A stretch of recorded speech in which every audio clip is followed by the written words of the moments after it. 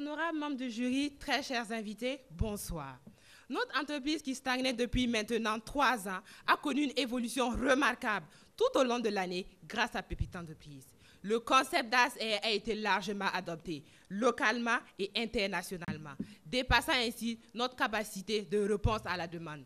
Avec les 15 millions, nous allons mettre en place une unité de production beaucoup plus grande et beaucoup plus moderne pour la somme de 3 millions de francs CFA, dont 1 million de francs CFA pour l'aménagement du local et 2 millions de francs CFA pour l'acquisition et le transport des équipements.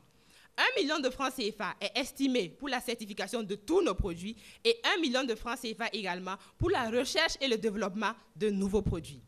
4 millions de francs CFA pour l'extension du salon pour une capacité d'accueil beaucoup plus grande.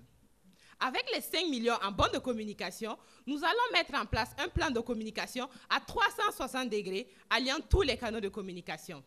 Panneaux publicitaires, spots télé, réseaux sociaux et j'en passe. Pourquoi choisir d'accompagner DAS Air?